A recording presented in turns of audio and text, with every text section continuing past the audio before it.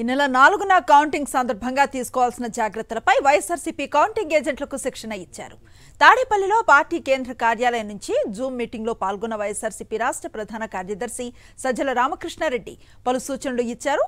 రాష్ట్రంలో నూట డెబ్బై ఐదు నియోజకవర్గాలకు చెందిన కౌంటింగ్ ఏజెంట్లు తీసుకోవాల్సిన జాగ్రత్తలను వివరించారు సజ్జల.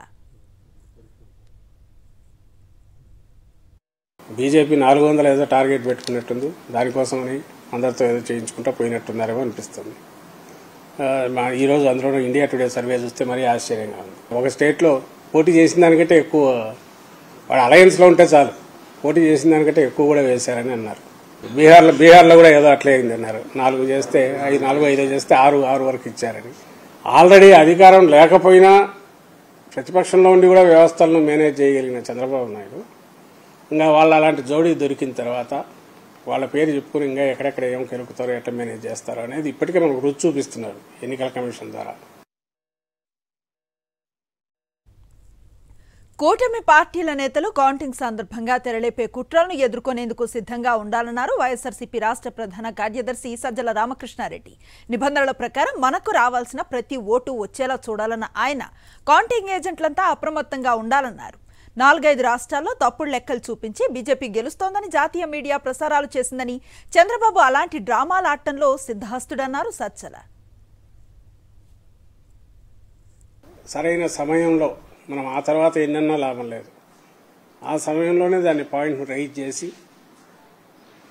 ఆర్ఓ దృష్టికి కానీ తర్వాత కమిషన్ దృష్టికి అవసరమైతే పైకి ఎస్కలేట్ చేసి తీసుకెళ్ళడం అనేది ఎంత అవసరం? దానికంటే ముఖ్యంగా ఈ కౌంటింగ్ ప్రక్రియలో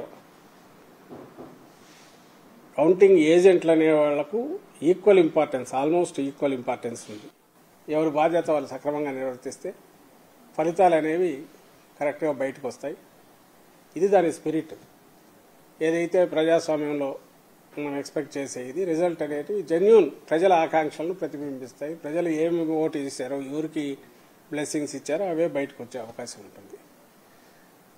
అయితే పోటీ ఇంత తీవ్రస్థాయిలో ఉన్నప్పుడు అందులోనూ మన రాష్ట్రంలో ఇప్పుడున్న పరిస్థితుల్లో ప్రత్యర్థులు ఏ రకమైన దీనికైనా పోయి ఎలాంటి కు- కుట్రలకైనా పాల్గొ పాల్పడి వాళ్ళ దీనికి తగినట్టు మలుచుకోవడానికి వ్యవస్థల్లో కూడా చొరబడి చేసే అలవాటు ఉన్న ప్రత్యర్థులు మనం ఇక్కడ ఎదుర్కొంటున్న నేపథ్యంలో వాతావరణం కూడా కొంచెం ఇదిగా ఉన్నందువల్ల మనం మోర్ అలర్ట్గా ఉండాలని చెప్తున్నాం.